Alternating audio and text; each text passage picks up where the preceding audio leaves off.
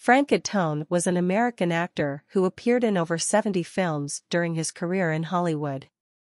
Born on February 27, 1905 in Niagara Falls, New York, Tone began his career on stage before transitioning to film in the late 1920s. Tone quickly made a name for himself in Hollywood, earning critical acclaim for his performances in films such as The Lives of a Bengal Lancer, Mutiny on the Bounty, and Love on the Run.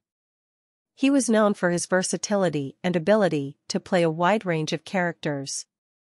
Off-screen, Tone was married three times, including to actress Joan Crawford, with whom he had a tumultuous relationship. He was also an avid art collector and served in the United States Army during World War II. Despite his success in Hollywood, Tone's career was plagued by personal and professional setbacks, including struggles with alcoholism and several failed marriages.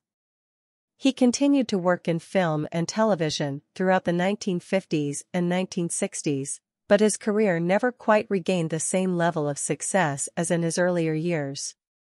Tone passed away on September 18, 1968 at the age of 63, from lung cancer. He left behind a legacy as a talented and versatile actor who made significant contributions to the film industry.